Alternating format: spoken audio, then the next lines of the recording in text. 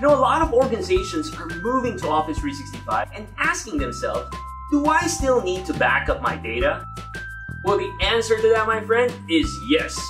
No organization wants to be caught with their pants down when an outage occurs. So with that in mind, here are four smart steps for creating an Office 365 backup strategy. Number one, define your policies and requirements. You know, the questions are simple, but they need to be asked and answered. For example, how frequently should we back up our data? How fast do we need to be able to back up our data and restore it? How long do you want to keep our backup content, regardless if it's Exchange, SharePoint, or OneDrive? What kind of content do we want to back up? And what level of object granularity do we want to be able to restore?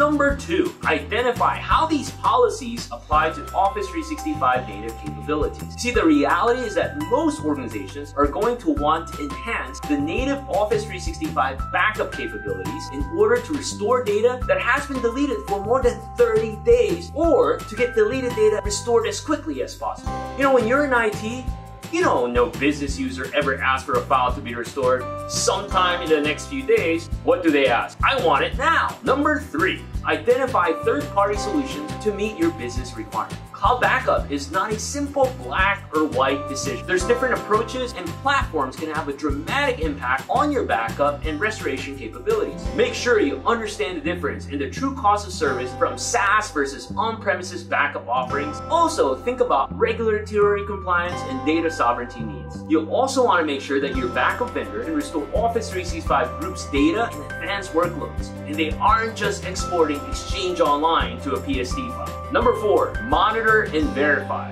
After backing up your data, it's crucial to continue monitoring via dashboards, logs, and regularly scheduled tests to ensure everything is working properly. You should have a regular cadence, monthly, quarterly, or semi-annual tests as well. For more details such as what tests to perform when, check out my colleague Robert Mosso post on our blog, and you can see more about our Office 365 backup offerings on our website. Until the next time, friends,